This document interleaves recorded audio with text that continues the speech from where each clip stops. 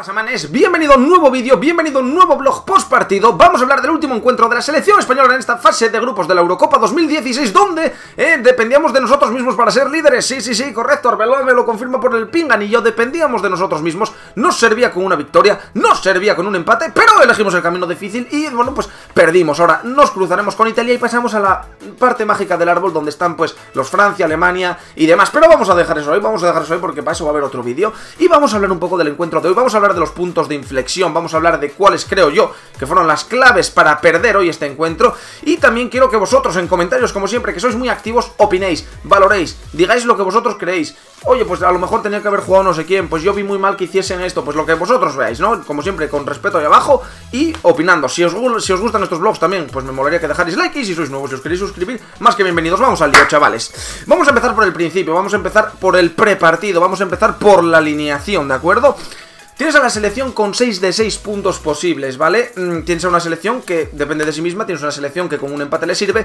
¿Qué me vas a decir del bosque? Que no puedes hacer una puta rotación, que no puedes mover algo de banquillo, hermano, que no puedes quitar gente que se ve que ya, pues, oye, va acumulando bastantes minutos en dos partidos, que aquí no son un partido a la semana, que aquí hay dos partidos a la semana, que son periodos de tiempo con muy poco, digamos, recovery, con muy poco tiempo para recargar pilas, que tienes jugadores de alguna edad, que tienes jugadores que hicieron unos esfuerzos muy importantes en partidos que, bueno, que ganaste bien, que ganaste sobre todo el de el de Turquía con mucha solvencia, ¿no? Bueno, pues vamos a ver. Juanfran, metes a Bellerín.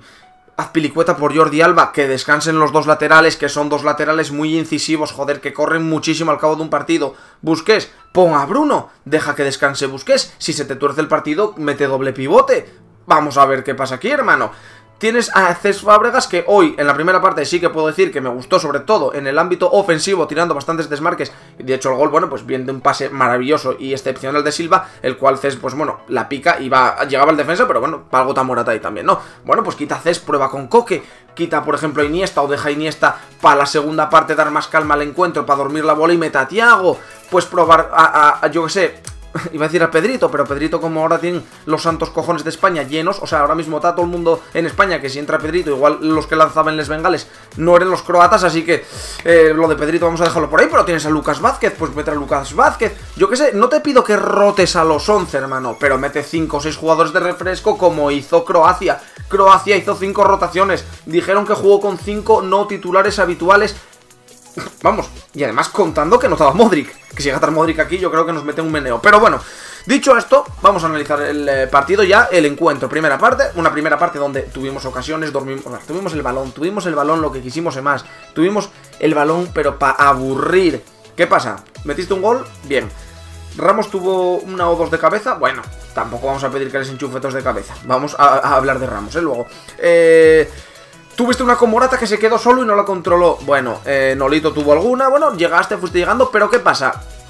Que al filo del descanso te empaten, hermano. Y todo el mundo sabe que al filo del descanso un gol y un pum, hostiazo psicológico en la cabeza.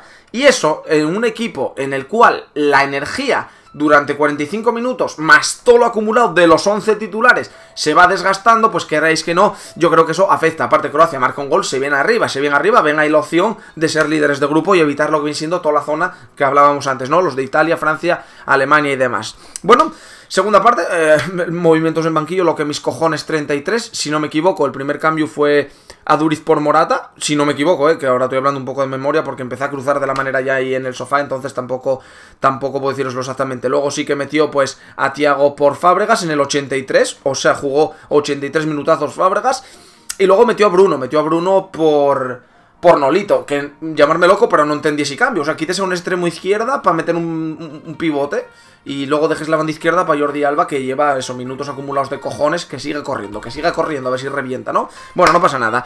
Empieza la segunda parte y ya es que ya se ve, que ya se ve en la segunda parte que Croacia ya, está en otro nivel. Ya está en un nivel físico superior. Ya llega, mejora la contra y repliega más rápido. Tiene más profundidad. Eh, los balones divididos parece que van con más fuerza. Bueno, no pasa nada. Tienes un penalti a favor. Penalti a favor, bueno, discutible, discutible. Bueno, antes de nada también en la primera parte la de De Gea que se durmió, se durmió un par de veces con el balón en los pies, ojo, porque además en una de ellas hizo un penalti a un pavo que metió el pie, quitó el balón y metió una, o sea, arrastró el pie, mete, mete, o sea, es que mete una patada, que luego tira una vaselina Rakitic guapísima, que si la enchufa pues y un golazo y a callar la puta boca, ¿no? Pero bueno, no la metió, no la metió. Pero no, de De Gea también, mm, vamos a ver, ¿eh? Vamos a ver, porque el gol, el gol, vale, centra Perisic, hace una jugada muy buena en banda, de hecho rompe la cintura, si no me equivoco, a Juanfran bastante frescamente. Tira un centro, Busquets no llega por un pelín, Ramos pierde la marca, o sea, yo creo que Ramos creía que iba a llegar Busquets, creo, eh, creo, porque tal. Y remata el pavo medio de tacón, ahí medio de espuela, al palo corto de De Gea. Vale, remata bastante cerca, tampoco podemos decir que sea canta de De Gea, ni mucho menos, ¿no? Pero... De Gea, De Gea. Luego lo de despejes y la segunda parte ya lo que hablamos, la, marcha de, Croacia ya está en otro nivel, Croacia ya está más rápida, Croacia ya, te está moviendo el equipo de otra manera, ya están replegando mejor y saliendo más rápido. Y aún así tienes un penalti a favor, un penalti dudoso, un penalti bastante riguroso por decir de alguna manera, que decide ejecutar Ramos, ¿vale? Decide tirarlo Ramos. Yo pensaba que iba a tirarlo a Lopanenka, pero no, decidió tirarlo eh, bastante centrado, la verdad. Pero hablamos de que lo falló, vale, falló el penalti, que si el portero no se mueve prácticamente lo para, estamos todos de acuerdo, estamos todos de acuerdo en que ahí Ramos no, no, no, lo ejecuta bien. Pero lo del portero que se adelanta 3 metros a la puta línea donde tiene que estar, y lo de un defensa que todavía estaba Ramos en la carrerilla y el defensa ya estaba casi paralelo a él, que luego sí defensa, y el que despeja el balón, no me jodas, árbitro, hermano. ¿Pa' qué que es el puto árbitro si de fondo de mi puta polla, hermano?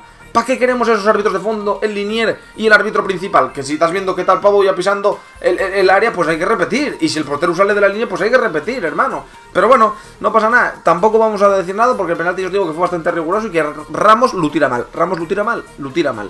Por si penalti tú tienes ir un poquitín esquinado y aunque sea adelante, no te lo va a parar. Pero bueno, Dicho esto, fallamos el penalti, no generamos, empezamos a no generar, empezamos a no generar ocasiones y bueno, pues nos marquen, nos marquen gol nos marquen gol, un gol que personalmente yo voy a hablar, yo voy a hablar por mí, yo creo que es la jala de Gea, pero cosa fina.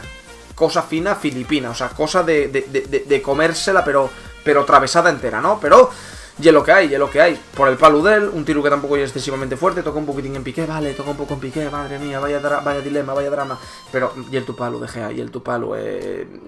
Lo que, de lo que siempre se habla, ¿no? Hazlo de Gea, sí, va a haber palos, pero es que esto hazlo casillas y es que, hermano, mañana yo creo que la prensa arrevienta, o sea... O sea, el Twitter explota y, y, vamos, no sé, la de su puta madre. Pero bueno, y es lo que hay, y es lo que hay, hermanos, y es lo que hay. Yo sinceramente creo que para mí la jode Potato, que la jode Krusty, que no hace una, un equipo, un equipo pues mmm, este partido. Yo creo que este partido era muy... Siempre se dice que en las fases de grupos cuando ganes los, dos primeros partidos es clave porque en el tercero siempre puedes sacar gente de refresco o de rotación y mantener el equipo con un nivel de estrés, un nivel de esfuerzo físico menor y menos, eh, digamos, para llegar más descansados a la fase final, ¿no? Sobre todo este año que hay octavos de final incluso. Entonces... No sé, no sé, para mí la jode el Krusty. Yo creo que no se quiso mojar por el tema de, hostia, si hago rotaciones y no pongo casillas, pues algo así. Yo qué sé lo que pasará por la cabeza de, Del Bosque, ¿no? Pero bueno, ya lo que hay, ya lo que hay, hermanos. Al final nos pinta la cara Croacia, nos quedamos segundos de grupo y nos vamos a enfrentar a Italia. Con lo cual, pues eh, todo maravilloso, todo maravilloso. Ahora Vamos a ver con Italia cómo coño, cómo va la movida, porque si ya visteis que se nos cerró la República Checa, que se nos cerró Turquía o que lo intentó, y que se nos cerró Croacia en la primera parte, imaginaros ahora intentar abrir una lata de una defensa cerrada de cojones con Chiellini, Bonucci, Barzagli, Buffon, De Rossi, gente, gente que, vamos, que sabemos cómo funciona, ¿no? Somos España y es lo que hay. Yo para mí, mm, hoy, hoy, la jodió de, mm, Vicentín, la jodió del bosque, la jodió del bosque, porque tú metes hoy a Lucas Vázquez, metes gente fresca, tío, metes gente de... Y luego si el partido se te tuerce, pues vas sacando a Iniesta, vas sacando a, a Busquets, no sé, vas sacando gente un poquitín ya más titular o lo que como lo queráis llamar, ¿no? Pero, pero no puedes hacer volver a jugar a los mismos 11 y volver a desgastarlos para que ahora tengan otra vez que, que volver a jugar ellos. Es que no puedes hacerlo así, no puedes hacerlo así. No puedes hacerlo así del bosque. Para mí, ¿eh? Yo, yo lo que yo pienso. Así que nada, chicos, bueno, pues... Eh, evidentemente, como siempre, muchísimas gracias por ver el vídeo. Reventar el like dejarme vuestra suscripción y como siempre en comentarios pues os leeré y os responderé a ver cómo, cómo camináis vosotros y qué opináis acerca del encuentro. Sé que vamos a hacer una valoración personal, una, una valoración personal rápida. De Gea para mí bastante flojo, Juan Fran bien, Piqué muy bien, Ramos muy flojo, Jordi Alba bien, Busquets mm, ni fu ni fa, bastante correcto por decirlo de alguna manera, Iniesta mucho más apagado para mí por el, por el cansancio de lo habitual, Fábregas bien 30 eh, minutos, Silva muy bien, eh, Morata bien, bien, bien, porque bueno, marcó el gol, que era empujala y poco más. Eh, Nolito bien, y luego, bueno, pues eh, Tiago prácticamente no jugó. Eh, Aduriz tuvo alguna, pero se durmió que flipáis. O sea, tuvo una que. De hecho, la, que precede al gol y una una ocasión que tiene a Duriz y tarda tres horas en cargar la pierna, que den ese balón a Villa. Que den ese balón a Villa que está ahora en la MLS, que ya verás donde, te lo. O sea, el portero no la ve, no la ve, o sea, fue gol, 3-1, toma por culo. Pero bueno, ya lo que hay, ya lo que hay, eh, no pasa nada. Villa está sobrevalorado, Villa, hombre, pero bueno. Así que nada chicos, lo dicho, como siempre, comentarios, suscribiros, dejar like y nos vemos en próximos vídeos. Un abrazo, chao. Y vamos a seguir con fe, hombre. Ante todo esto puede ser un traspiés, pero hay que seguir con fe que, que el partido que hicimos contra Turquía hay que, hay que volver a recuperar esa sensación y hay que hacer que este equipo crea y hay que sacar la tercera Eurocopa adelante. Nos vemos, un abrazo.